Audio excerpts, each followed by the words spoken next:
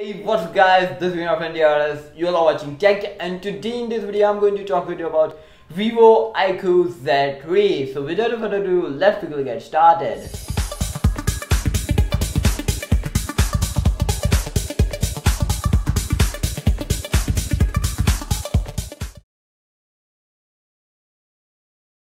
But the display you'll be getting is the 6.58 inches IPS LCD 120Hz display.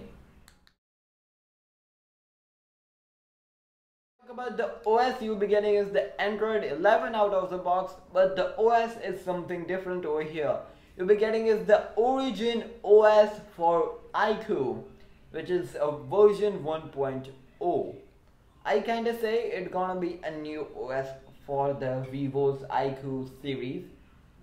I don't know, but I gotta say that also. Processor you'll be getting is the Snapdragon 768G which is a 5G processor. If you want to know more about this processor, links up in the iCard if you want to know about the GPU. I'll be telling you it's Adreno 620. battery you'll be getting is the 4400 mAh lithium polyethylene battery Inside the box you'll be getting is the 55 watt power adapter the phone will be charging via the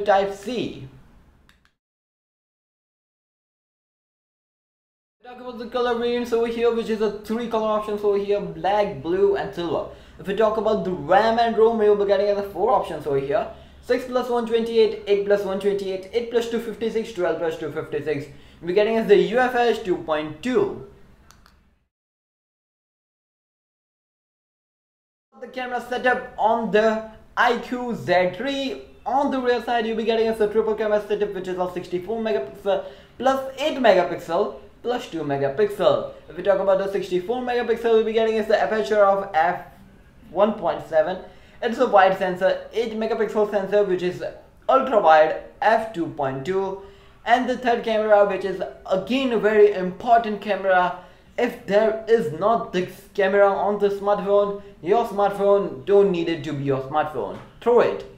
Anyway it's a 2 megapixel macro f2.4 video recording on the rear side which is a 4k at 30 fps on the front side you'll be getting is a 16 megapixel single camera setup which is of f2.0 wide sensor and the video recording of its 1080p at 30 fps.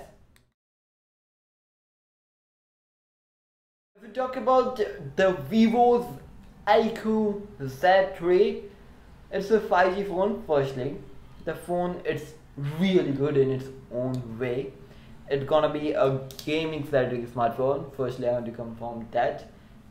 It's perfect as per me.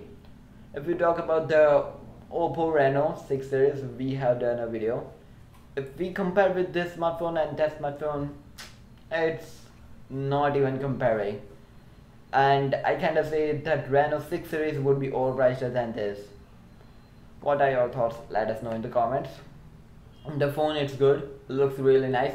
Fingerprint scanner is just side mounted has the Samsung Galaxy M31s links in the die yeah. Uh, Snapdragon 768 g 5g link up in the icon make sure you check it out. Or you might have jumped up in the processor explanation only I don't know.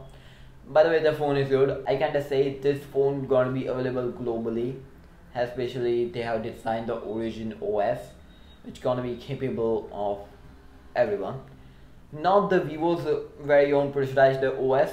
I gotta say this that was a chunky OS. You'll be getting too many things over that, but I don't I don't know anything about the Origin OS right now. If you'll be getting that, we're gonna make a separate video if possible, and uh, if you got your support on this Origin OS right now.